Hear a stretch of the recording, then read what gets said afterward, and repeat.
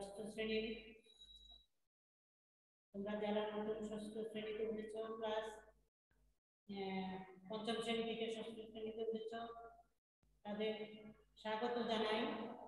তোমরা ভালো আছো তো? আজকে আমি তোমাদের ক্লাস নেব। আজকে যে বিষয়টা তোমাদের জন্য আমি নিয়ে এসেছি, সেটা হলো বাংলাদেশ ও বিশ্ব পরিচয়। বাংলাদেশ ও বিশ্ব পরিচয় নিশ্চয় তোমাদের জন্য কোনো নতুন সাবজেক্ট না। তোমরা নিশ্চয়ই ক্লাস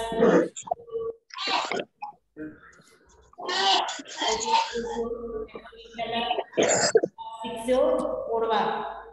ঠিক আছে?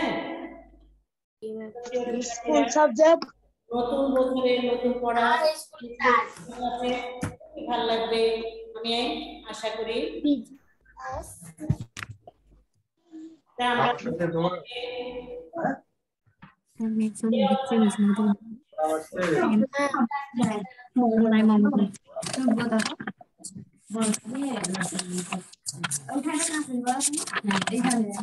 ঠিক আছে একদম এখান থেকে একটা আছে তোমার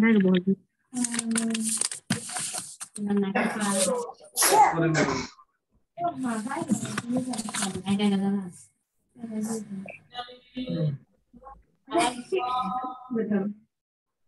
মিস কোন সাবজেক্ট মিস কোন সাবজেক্ট পড়তেছি বিজিএস বিজিএস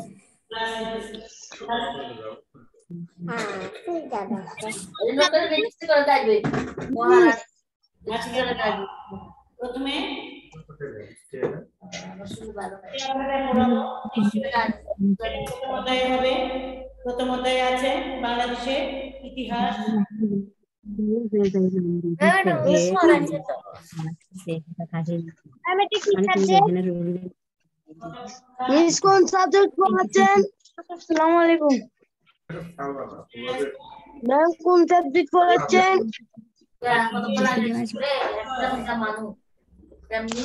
মিস কোন সাবজেক্ট পড়াচ্ছেন করো। কোন সাবজেক্ট মিস এটা কোন সাবজেক্ট বাংলাদেশ মিস এটা কোন সাবজেক্ট বাংলাদেশের ইতিহাস। বাংলাদেশ ইতিহাস? বাংলাদেশ বিশ্ব পরিচয়। মাইমুনেটেড করুন বাংলাদেশ বিশ্ব পরিচয় এটা।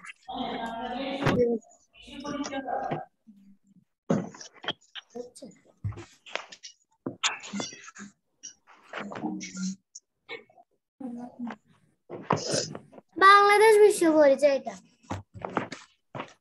আচ্ছা আমাদের তো বাংলা এগুলো তো পড়াইছে আমাদেরকে হ্যাঁ।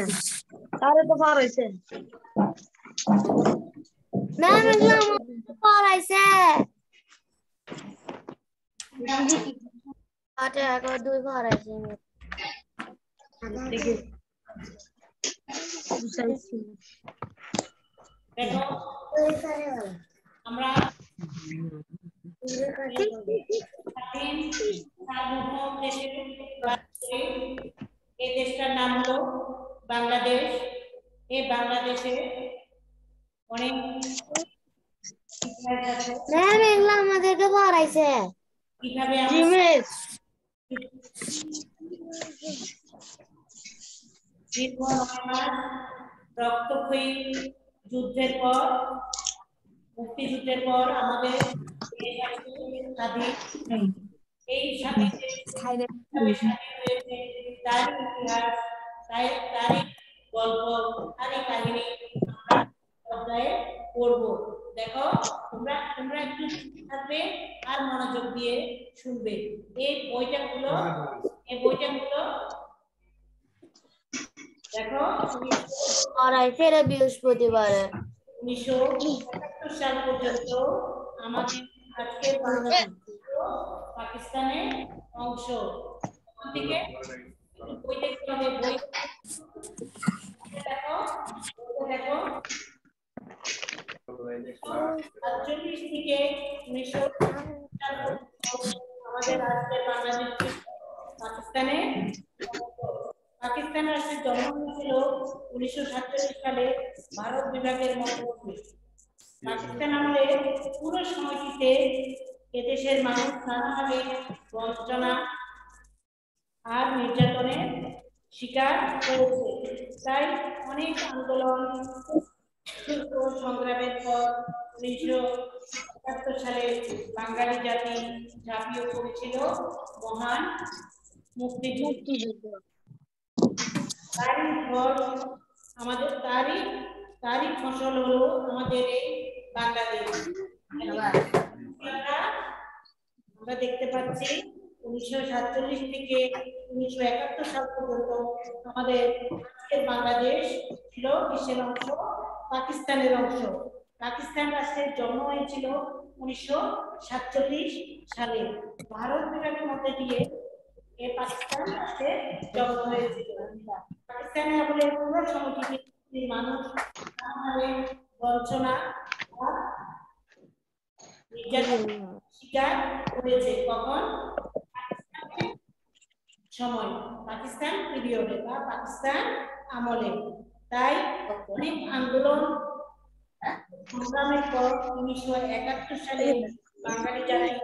ঝাঁপিয়ে পড়েছিল, মহান বিশ্ব মহান মুক্তিযুদ্ধে, তারই আমাদের এই বাংলাদেশ, তারই তারই ফসল হলো আমাদের বাংলাদেশ, যে বাংলাদেশ বাংলাদেশে বসবাস করতে পারছি।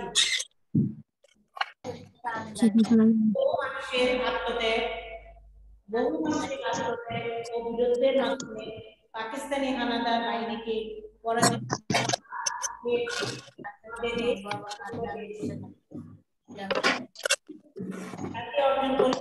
বিজয় ইতিহাসে আমরা পরিচিত হয়েছি বীর বাঙালি ও বিজয়ী জাতি হিসাবে ঠিক আছে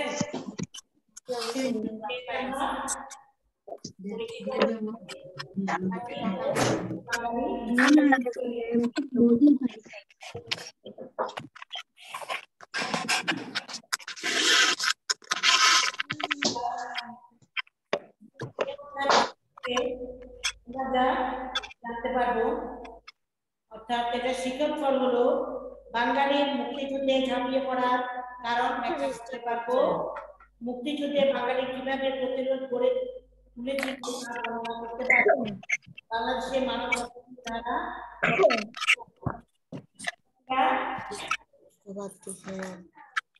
এবার দেখো পার্ট এক ও দুই বাংলাদেশের মুক্তিযুদ্ধ মুক্তিযুদ্ধ বাংলাদেশে উনিশশো সালে মুক্তিযুদ্ধের الجنريتر ولا بداية الفراغ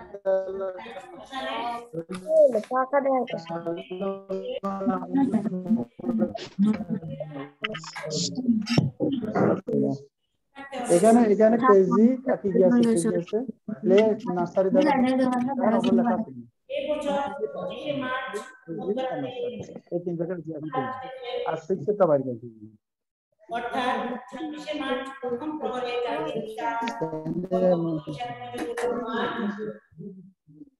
বাংলাদেশের স্বাধীনতা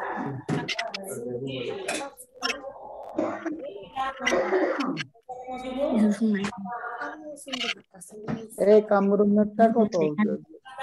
সংবিধান এখন। ছাব্বিশে মার্চ। মার্চ আর এগুলো তারা রকম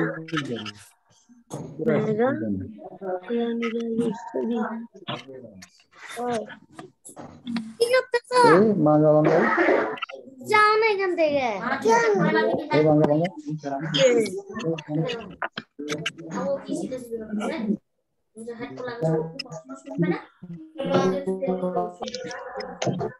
শুধু ডিস্টার্ব করে। হ্যাঁ ডিস্টার্ব করো তুমি আওয়াজ করো। আমার মনোযোগ হচ্ছে না কোথায় পড়ছে আমিও জানি না। তারপর দেখে দিই তার কলকাতা এখনও আওয়াজ করলে হলো তো করেছি না ঘটনা তো ছিল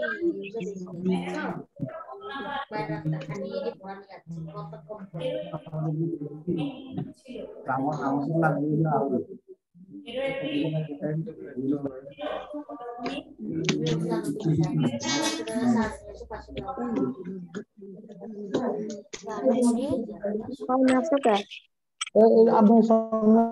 আপনি উনিশশো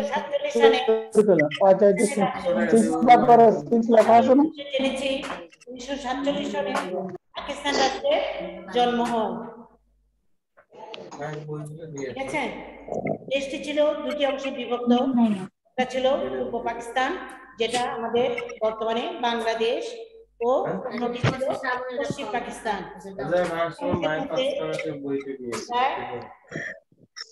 উত্তর ছিল বারোশো। মাঝখানে অন্য একটি দেশ ভারত। এটার মাঝখানে ছিল অন্য একটি দেশ যার নাম ভারত। ঠিক আছে পাকিস্তানের রাজধানী ছিল পশ্চিম পাকিস্তানে ক্ষমতাও ছিল পশ্চিম পাকিস্তানিদের। বারবার বার বারবার মুখে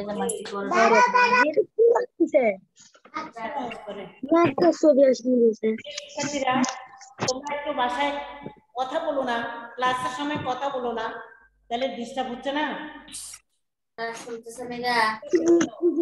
সবাই তো বলতেছে আর ক্লাসটা দেখো? আরে ভাই আমার সব গেল। বলছে এখানে? মুক্তিযুদ্ধের পটভূমি একটু মনোযোগ দিয়ে শুনতে হবে। সাতচল্লিশ সালে পাকিস্তান রাষ্ট্রের জন্ম হয় দেশটি ছিল দুটি অংশে বিভক্ত। একটা ছিল পশ্চিম পাকিস্তান আর একটা ছিল পূর্ব পাকিস্তান। বারোশো কিলোমিটার। বারোশো বারোশো মাইলের ব্যবধান। ছিল। বারোশো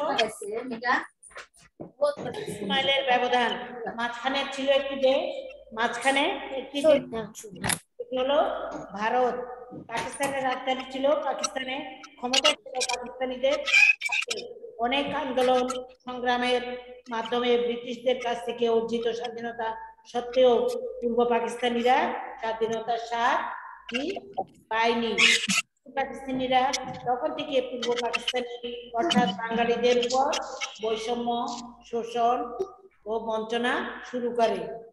পাকিস্তানিরা প্রথম আক্রমণ করল বাঙালিদের সংস্কৃতি অর্থাৎ মাতৃভাষা বাংলার আমাদের আওয়াজ আমাদের প্রথমে কিসের উপর বাঙালি সংস্কৃতির উপর। বাঙালি সংস্কৃতি অর্থাৎ মাতৃভাষা বাংলার উপর তারপর রাজনৈতিক অধিকারের উপর। একতরফা ক্ষমতা ভোগ করে পাকিস্তানি শাসকরা আঘাত হানলো আমাদের অর্থনীতির উপর। প্রথমে করল সংস্কৃতির উপর, তারপর বাংলা ভাষার মাতৃভাষা বাংলার উপর, তারপর রাজনৈতিক অধিকারের উপর একতরফা ক্ষমতা ভোগ করে পাকিস্তানিরা শেষে আঘাত হানলো আমাদের অর্থনীতির উপর। পাশাপাশি চলল বাঙালি সংস্কৃতির বিরুদ্ধে উৎসাহ আর প্রয়াস। ঠিক আছে? আওয়াজ কম করতে হবে তাহলে তোমরা পড়াটা শুনতে পাবা। পড়া না শুনলে তোমরা শিখবে কীভাবে? বলো কি পড়াচ্ছে এটা কেমনে জানবে? একটু পড়াতে শুনতে হবে আওয়াজ কম করতে হবে। ঠিক আছে? আমার কথা শুনতে পাচ্ছ? জি ম্যাম। হ্যাঁ তাহলে আওয়াজ করবা না। ঘরে আওয়াজ করবা না। যে রুমে ক্লাস ক্লাস হচ্ছে যে রুমে তুমি অনলাইন ক্লাস করছ ওই রুমে যেন কোনো আওয়াজ না হয়। তাইলে আমারও হচ্ছে।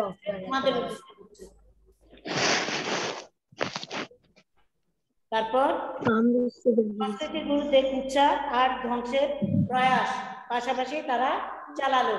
ঠিক আছে?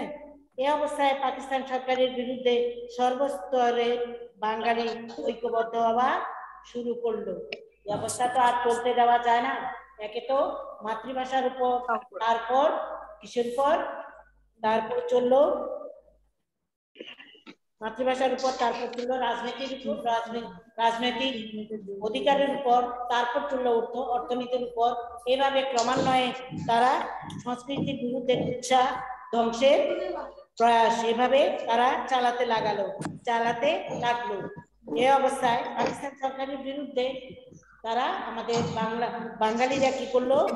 সর্বস্তরে বাঙালি ঐক্যবদ্ধ হলো আর ঐক্যবদ্ধ হইতে শুরু করল। এ সময় বঙ্গবন্ধু শেখ মুজিবুর রহমানের মতো এক সাহসী ত্যাগী এক সাহসী আর এক সাহসী ত্যাগী ও দূরদর্শী আবির্ভাব হয়। তার নেতৃত্বে বাঙালি ঐক্যবদ্ধ হয় এবং স্বাধীনতা মন্ত্রে উজ্জীবিত হয়। ঠিক আছে? বুঝতে পারছ? শুনতে যাচ্ছে? আচ্ছা। তার নেতৃত্বে বাঙালি ঐক্যবদ্ধ হয় এবং স্বাধীনতা মন্ত্রে উজ্জীবিত হয়ে জাতি উনিশশো সত্তর সত্তরের সাধারণ নির্বাচনে আওয়ামী আওয়ামী লীগে, আওয়ামী লীগের নিরঙ্কুশ সংখ্যাগরিষ্ঠতা দিয়ে বিজয়ী হয়, ঠিক আছে? এই উজ্জীবিত জাতি উনিশশো সত্তরের সাধারণ নির্বাচনে মানে উনিশশো সত্তরের যে সাধারণ নির্বাচন হয়, ভোট হয়, এ আওয়ামী লীগকে নিরঙ্কুশ সংখ্যাগরিষ্ঠতা এই আওয়ামী লীগ নিরঙ্কুশ সংখ্যা মানে খুব বেশি সংখ্যাগরিষ্ঠতা আহ, অর্জন করে। সংখ্যাগরিষ্ঠতা অর্জন করে। অনেক বেশি ভোট পেয়ে তারা এগিয়ে যায়। কে? কোন দল আওয়ামী লীগ। আচ্ছা কিন্তু সমসাময়িক সরকার এই পথে বাধা হয়ে দাঁড়ায় কিন্তু ওই যে তার পাচ্ছে এই সময় দাঁড়ায়। এই দেশের রাজনীতিবিদ ছাত্র জনতা সহ আপামর জনসাধারণ বঙ্গবন্ধুর নেতৃত্বে আপসীন অবস্থা নেয়। তখন কি করে? ওরা তারা যখন মেনে নেয় নাই এবং মেনে নেয় তখন এই দেশের রাজনীতিবিদ, ছাত্র জনতা, আপামর, জনসাধারণ বঙ্গবন্ধুর নেতৃত্বে কি করে? আপসীন অবস্থান নেয়। এবার দেখো, পাকিস্তানি হানাদার বাহিনী হত্যাযজ্ঞ ও হানাদার বাহিনীর হত্যাযজ্ঞ এখানে মইনুদ্দিন নাই ও আমাদের বিজয়। পঁচিশে মার্চ পঁচিশে মার্চ উনিশশো একাত্তর গভীর ভারী অস্ত্র আর ট্যাঙ্ক বহন নিয়ে এই দেশের মানুষের উপর পাকিস্তানি সৈন্যরা ঝাঁপিয়ে পড়ে। ঠিক আছে? প্রিয় শিক্ষার্থীরা তোমরা শুনতে পাচ্ছ? তোমরা বই দেখো সাথে সাথে আমার পড়াটা দেখো। ঠিক আছে? এবং নির্বিচারে হত্যা উনিশশো একাত্তর সালে ভারী অস্ত্র আর ট্যাঙ্ক সহ ট্যাঙ্ক বহর নিয়ে এদেশের ঘুমন্ত মানুষের উপর পাকিস্তানি হানাদার বাহিনীরা ঝাঁপিয়ে পড়ে এবং নির্বিচারে হত্যাযজ্ঞ চালায়। উনিশশো একাত্তর সালের পঁচিশে মার্চ মধ্যরাত শেষে অর্থাৎ ছাব্বিশে মার্চ প্রথম পরে জাতির পিতা বঙ্গবন্ধু শেখ মুজিবুর রহমান বাংলাদেশের স্বাধীনতার ঘোষণা দিয়ে একটি বার্তা সারা দেশে পাঠিয়ে দেন। স্বাধীনতা স্বাধীনতা ঘোষণার পর পরেই পাকিস্তান, পাকিস্তানি সেনাবাহিনী বঙ্গবন্ধুকে গ্রেপ্তার করে। শোনো, এগুলি মনোযোগ দিয়ে শুনতে হবে। এটা কিন্তু একটা গল্পের মতো, বুঝছ? তোমরা মনোযোগ তোমরা যেরকম গল্প মনোযোগ দিয়ে শোনো ঠিক এটাও তোমাদের গল্পের মতো শুনতে হবে। তারপর তোমরা মনে রাখতে পারবা তোমরা নিজেরাও কয়েকবার তোমরা দেখবা মনে থাকবে।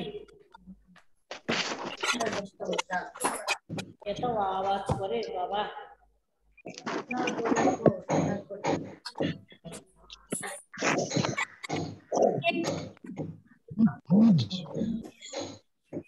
না অবস্থ করতেছি না। পাকিস্তানি বাহিনী কি করে? বঙ্গবন্ধু শেখ মুজিবুর রহমানকে গ্রেপ্তার করে নিয়ে যায়। ঠিক আছে?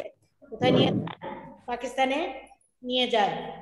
তখন বাঙালি পুলিশ ইপিআর সদস্য সেনা ও জনতা দ্রুত সংগঠিত হয়ে মুক্তিযুদ্ধ শুরু করে। শুরু করে।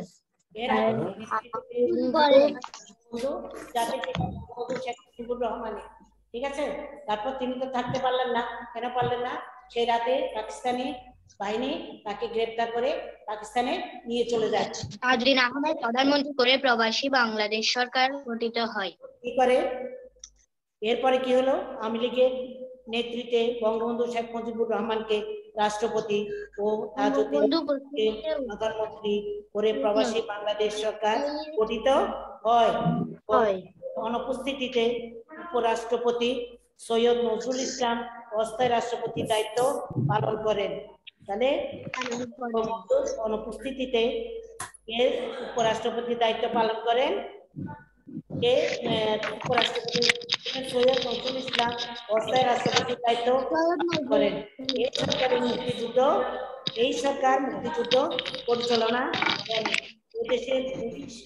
সদস্য নাগরিক কৃষক শ্রমিক ছাত্র মানুষ মুক্তিযুদ্ধ শ্রমিক সদস্য, কৃষক, শ্রমিক, ছাত্র, জনতা, সর্বস্তরের মানুষ করেছিল। সোভিয়েত ইউনিয়ন পড়ানোর কাজগুলো আবার পড়াচ্ছে সময় আমাদের পাশে দাঁড়ায় এক কোটিরও বেশি মানুষ ভিটে মাটি ছেড়ে ভারতে আশ্রয় নিয়েছিল। ভারত আশ্রয় গ্রহণকারী বাঙালি শরণার্থীদের খাদ্য বস্ত্র ও চিকিৎসা সেবা দিয়েছিল। ভারতে আশ্রয় নিয়েছিল এবং ভারত এ শরণার্থীদের, যারা বাংলাদেশ থেকে সেখানে ভারতে আশ্রয় নিতে যেতে হয়েছিল, তাদেরকে পাকিস্তানি শাসকদের মানে যে ধ্বংসলীলার হাত থেকে রেহাই পাওয়ার জন্য তারা ভারতে আশ্রয় নিয়েছিল এবং ভারত সরকার তাদেরকে কি দিয়েছিল? খাদ্য, বস্ত্র আর, খাদ্য, বস্ত্র আর চিকিৎসা সেবা দিয়েছে। পাকিস্তানি হত্যাযজ্ঞে ত্রিশ লক্ষ এই যে পাকিস্তানি বাহিনীর এই হত্যাযজ্ঞ হলো এই হত্যাযজ্ঞে কতজন শহীদ হয়েছিল বাঙালি শহীদ হয়েছিল অসংখ্য ঘরবাড়ি জনপদ লোকালয় গ্রাম শহর ধ্বংস হয়ে গিয়েছিল। অনেক রক্ত ও আত্ম আত্মত্যাগের বিনিময়ে আমরা ষোলোই ডিসেম্বর বিজয় অর্জন করেছি। অনেক হত্যাযোগ্য জনপদ লোকালয় গ্রাম শহর ধ্বংসের ধ্বংস হয়ে অনেক রক্ত ত্যাগের বিনিময়ে আমাদের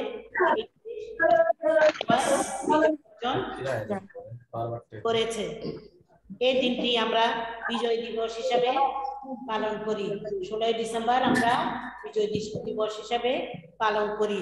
প্রিয় শিক্ষার্থী, সেদিন তিরানব্বই হাজার পাকিস্তানি সৈন্য আত্মসমর্পণ সমর্পণ করতে বাধ্য হয়েছিল।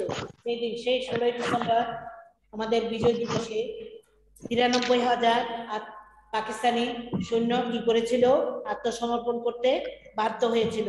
বঙ্গবন্ধু নেতৃত্বে বাঙালি জাতি বাংলাদেশ নামক একটি স্বাধীন রাষ্ট্র অর্জন করে। তার নেতৃত্বে জাতির জনক বঙ্গবন্ধুর নেতৃত্বে জাতির জনক বঙ্গবন্ধুর নেতৃত্বে হ্যাঁ? জাতির জনক বঙ্গবন্ধুর নেতৃত্বে আমাদের এই দেশ আজকে স্বাধীনতা আমরা একটি স্বাধীন রাষ্ট্র পেয়েছি। স্বাধীনতার একদিকে রয়েছে অনেক হারানোর ব্যাপার অন্যদিকে বিশাল প্রাপ্তি আনন্দ। রক্তে ভেজা স্বাধীনতা লাল সূর্য আনন্দের বার্তা ছড়িয়ে দিয়েছে শ্যামল সুন্দর দেশে। একদিকে প্রিয় শিক্ষার্থীরা অনেক। উনিশশো একাত্তর সালে বাংলাদেশ নামে যে দেশের জন্ম হলো তার ইতিহাস কিন্তু অনেক প্রাচীন এবং এর পিছনে শুধু সুদীর্ঘ ইতিহাস। আমরা পরবর্তী পাঠগুলিতে প্রাক ঐতিহাসিক যুগে বাংলাদেশের মানব বসতি থেকে শুরু করে বিভিন্ন রাজনৈতিক অবস্থার উত্থান পতন ও ফলাফল সম্পর্কে জানব ইনশাল্লাহ আজকে আমরা এটুকুই পড়ব এবং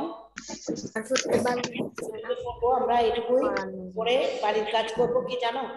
মুক্তিযুদ্ধের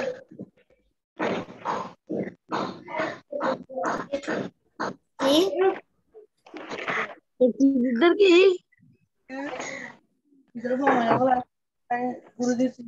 এলো নির্বাচনী বানিয়েছে এখন আবার কি দিবে কি করব হ্যালো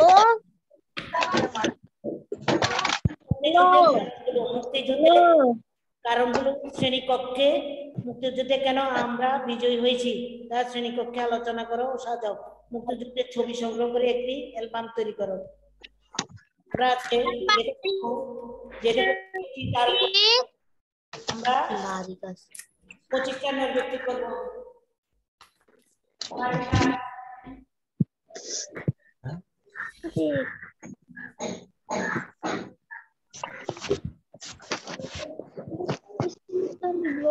নৈগতিক নৈগতিক শেষ আহ, পনেরোটা বানাইতে এতক্ষণ লাগছে এখন আবার লিপ দিদি।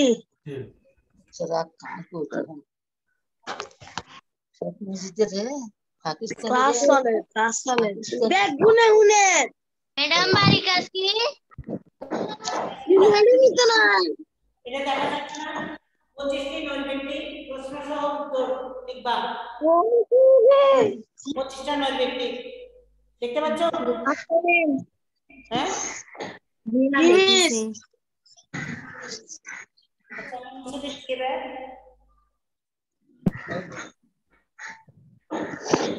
Bye bye.